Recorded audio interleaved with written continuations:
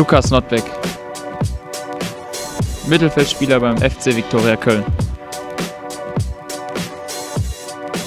Vorfreude ist natürlich riesig. Ähm, ich freue mich immer wieder äh, im Südstadion zu spielen. Ähm, ich hatte zwei super Jahre da. Äh, bin jetzt aber schon mittlerweile zwei Jahre auch weg. Die ganzen Derbys äh, waren immer ziemlich enge Spiele. Ähm, man muss sich nur an das Hinspiel letztes Jahr erinnern, wo wir 2-0 geführt haben und noch 4-2 verloren haben, unglücklich. Daran sieht man einfach, was in diesen Spielen immer möglich ist für den Verein ist es sehr wichtig, ähm, allein schon um zu zeigen, dass äh, wir vielleicht besser sind als die Fortuna, auch wenn sie in der Liga höher als wir spielen.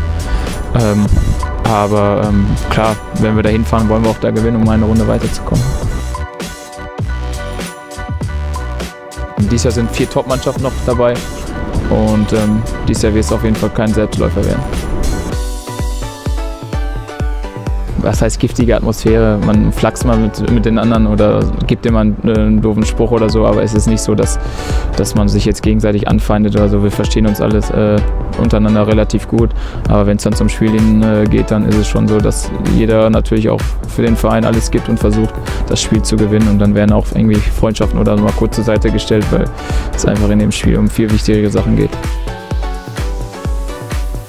Wir, denke ich mal, haben schon relativ äh, Selbstvertrauen getankt. Wir haben äh, seit acht Spielen nicht mehr verloren. Im neuen Jahr haben wir erst zwei Gegentore bekommen.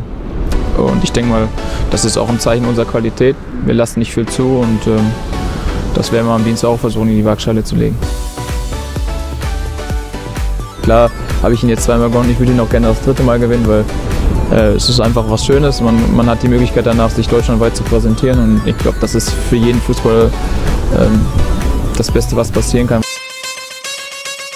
Ich finde, so ein Pokalfinale mit dem ganzen Drumherum in Bonn ist immer was Besonderes. Damals war es halt einfach schon so, dass Aachen in der dritten Liga gespielt hat. Wir hatten eigentlich auch nichts zu verlieren. Der Spielverlauf war natürlich zu unseren Gunsten.